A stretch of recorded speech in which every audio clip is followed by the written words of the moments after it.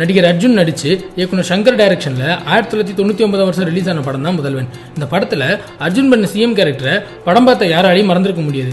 சரி அந்த படத்துல இருந்து ஒரு காட்சி நீக்கப்பட்டதை பத்தி இயக்குனர் சங்கர் வெளியிட்டிருக்காரு. அது எந்த காட்சிங்கிறத பத்தி இந்த வீடியோல பார்க்கலாம்.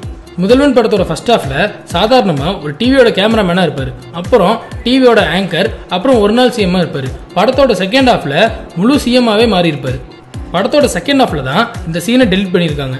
அர்ஜுன் மனிஷா கொய்ராலாவை பார்க்க பூஞ்சோலை கிராமத்துக்கு போவாரு. அதுக்கு முன்னாடி இவர் பஸ்ல போற மாதிரி ஒரு scene எடுத்திருப்பாங்களாம். Buy t-shirt on moonfight.com. அந்த சீன்ல அர்ஜுன் கிட்ட டிக்கெட்டு காசு கேட்கும்போது டிக்கெட் எடுக்க காசு இல்ல நாளைக்கு காசு தரேன் டிக்கெட் கொடுங்க அப்படின்னு கேட்பறான் அப்புறம் அந்த கண்டக்டர் அர்ஜுனை கழுத்தை பிடிச்சி பஸ்ல இருந்து கீழே தள்ளி விட்டுருவாராம். அப்புறம் அங்கிருந்து அந்த ஊருக்கு நடந்தே வருவாராம். இந்த சீன்ஸ் எல்லாம் எடிட்டிங் பண்ணும்போது கட் பண்ணிட்டதா டைரக்டர் சங்கர் ரீசெண்டா ஒரு பேட்டியில சொல்லியிருக்காரு. அடுத்த வீடியோ பார்க்கறதுக்கு முன்னாடி கீழே இருக்க சப்ஸ்கிரைப் பட்டனை கிளிக் பண்ணி எங்க ஃபுல் மீல்ஸ் சேனலை மறக்காம சப்ஸ்கிரைப் பண்ணுங்க.